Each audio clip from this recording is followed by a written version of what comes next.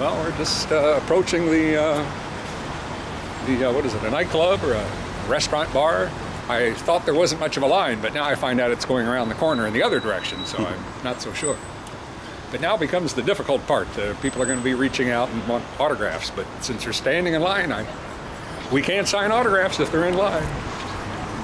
Is that That's so? unfair. Well, it's unfair to the people that have been gotten there hours before they did. So those are the, the earliest people there get the most attention.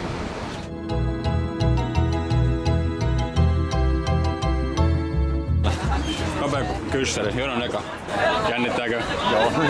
No mä oon sitä, sen yhden biisin, mistä tuli se tota, vi- video YouTube, niin sitä kuunnellut useampaankin kertaa, mutta en vielä muuta, että levy on hankkimassa tuolta sisältä.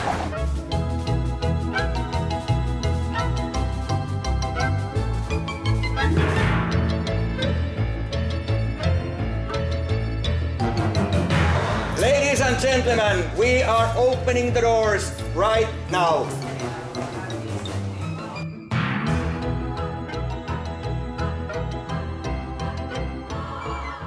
Mä oon viisi ja puoli tuntia jonotettu, Kannattiko? kannatti.